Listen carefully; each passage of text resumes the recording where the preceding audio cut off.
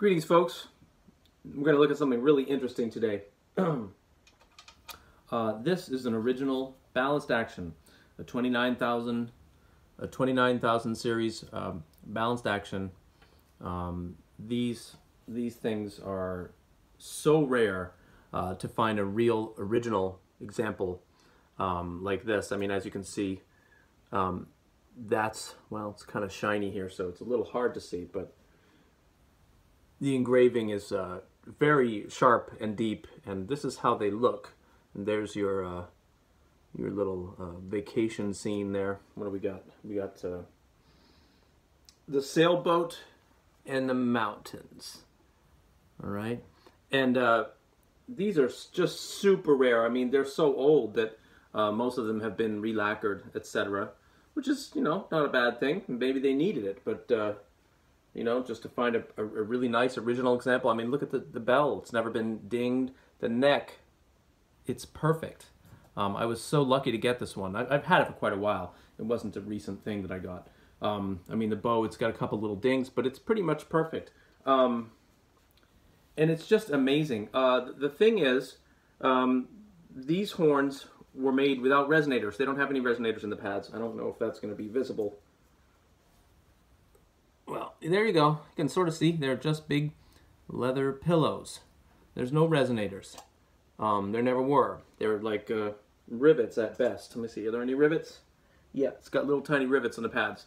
Um, and uh, so this is and this is uh, the original pads. Nothing's ever been done to it. I just got it. It was a it was a raw find, you know, out of somebody's attic, and um, I'm gonna overhaul this one and set it up really beautifully with big domed uh, metal resonators. Uh, they play amazing that way.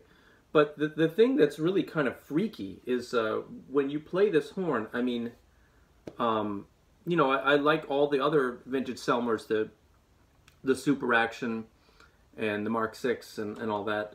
Uh, they're great, but I mean, the balanced action was just such a pinnacle of, of craftsmanship and, and design. I mean, these horns they play amazingly well. in some ways, it's almost like I, I, don't know if they ever topped to this. I don't know if they ever did better than the balanced action. It's it's they're so good. Um, this horn plays on original pads, and it plays really well. Uh, it'll play amazing with resonators and actual pads that aren't, you know, crusts of mold and fungus. Um, but uh, it plays really well. And the thing is, it has no resistance. It's just a free blowing. It's like a it's like a big um, luxury Cadillac. Amazing, um, and not uh, not overly spread. I mean, they're kind of uh, compact, and once you put the resonators in, they're kind of bright. Um, it's a little bit uh, surprising. But this so this is the before video. I'm I'm just getting ready to, to start working on this. I got to finish um, one other horn, and then I think I'm going to do this one uh, for myself. Anyway, I'm going to play this with, with, a, with a straight signature Florida hard rubber link.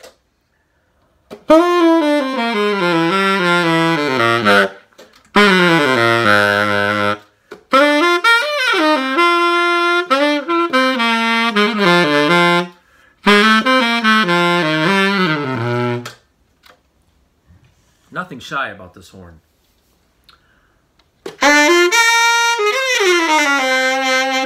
baby, baby.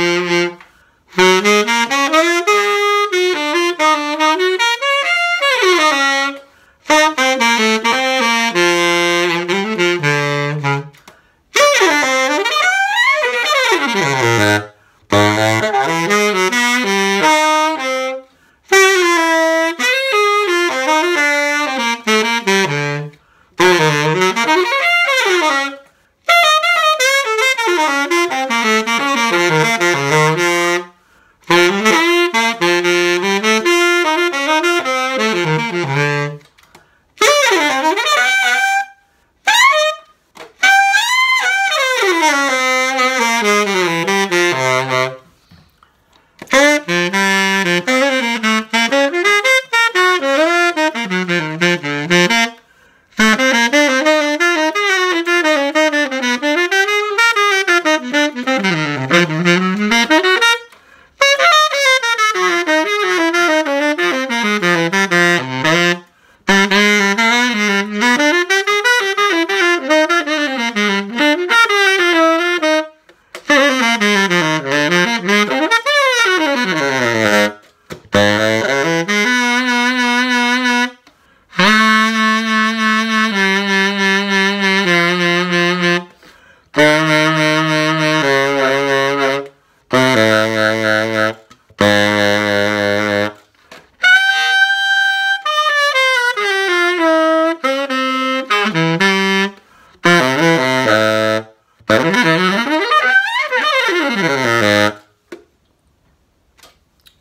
It's a it's just an amazing thing to play. Very satisfying on these shitty old pads.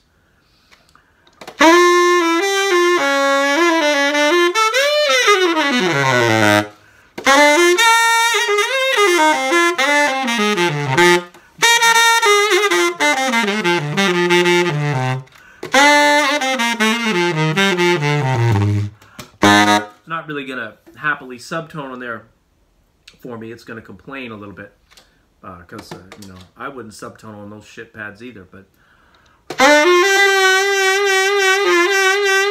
something's vibrating. I don't know what it is. There it is. It's my all right. My uh, side C key vibrating, just blowing open. Light springs.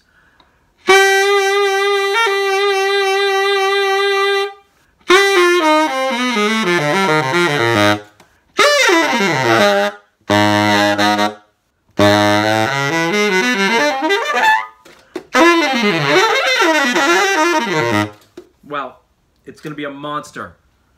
There it is. This is the before video. I'll check back in three years when I'm done with the overhaul. Thanks for watching.